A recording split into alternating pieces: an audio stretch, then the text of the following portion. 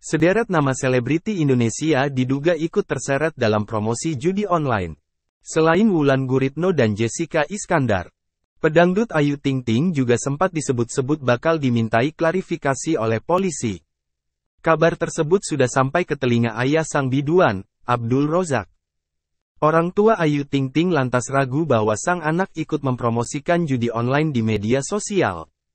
Pria yang akrab disapa ayah ojak itu mengaku dirinya selalu percaya dengan anaknya ketika berangkat kerja. Ia pun juga mengetahui tempat di mana saja Ayu Ting Ting bekerja. Lebih lanjut, Abdul Rozak menyebut soal keuangan dan urusan pekerjaan Ayu Ting Ting semuanya diurus oleh tim manajemen. Selama Ayu Ting Ting ikut dalam manajemen tersebut. Kata Abdul Rozak, anaknya pun selalu diperlakukan dengan baik. Sementara itu, Karir anaknya yang kini sedang naik-naiknya, Abdul Rozak merasa bersyukur. Ia menilai bahwa Ayu Ting Ting menuai hasilnya karena selama ini selalu menjadi anak yang baik dan berbakti kepada orang tuanya.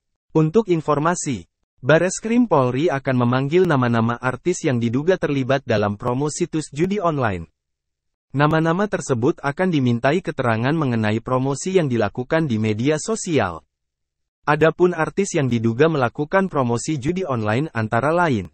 Wulan Guritno, Vicky Prasetyo, Cupi Cupita, Jessica Iskandar, G. Ayo hingga Ayu Ting Ting.